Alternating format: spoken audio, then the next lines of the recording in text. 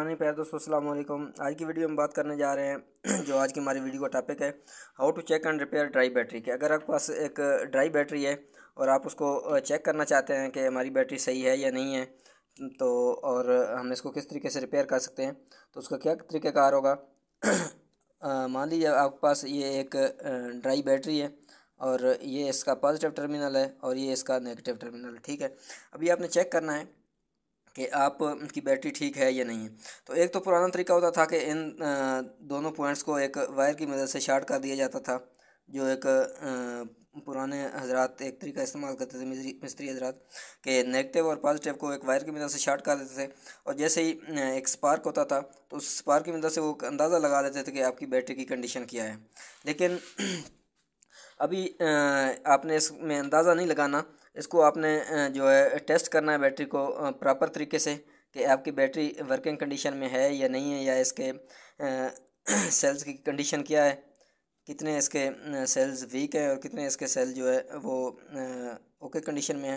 तो उसके लिए क्या होता है, आपके पास एक बैटरी टेस्टर होता है अवेलेबल होता है मार्केट में अवेलेबल होता है ईजिली तो ये दो तरह के बैटरी टेस्टर होते हैं, एक डिजिटल होता है और एक एनालॉग होता है.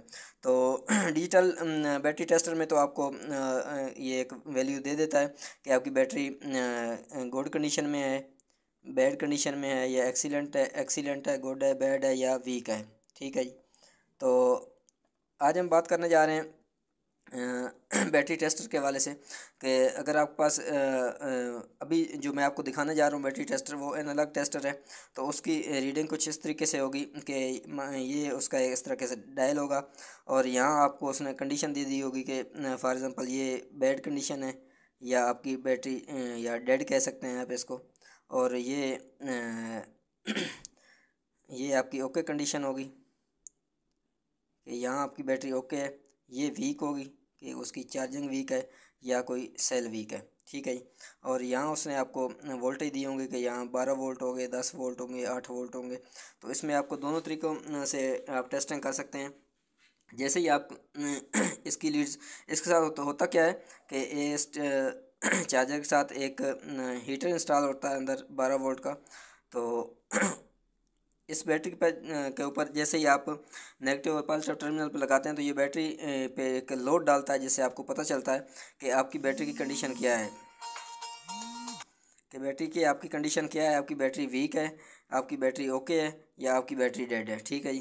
तो हम मैं भी आपको चार्जर दिखाता हूँ, और आपको तरीक़ेकार समझाते हैं कि किस तरीके से आप बैटरी को टेस्ट कर सकते हैं। एक से शुरू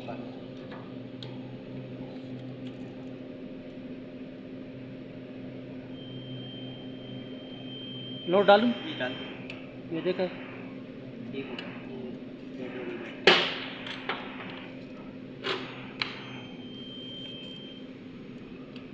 ये देखा। ये भी देखा।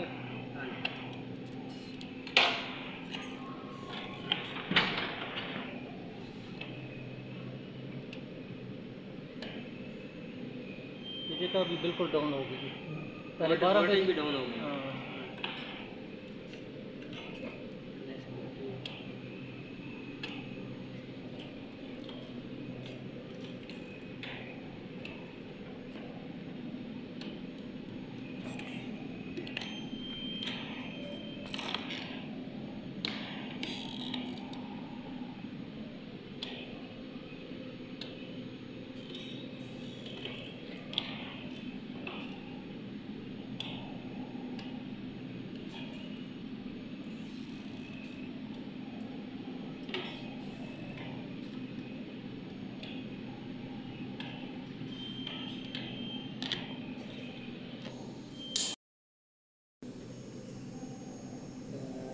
बैटरी ये का बैटरी टेस्टर है।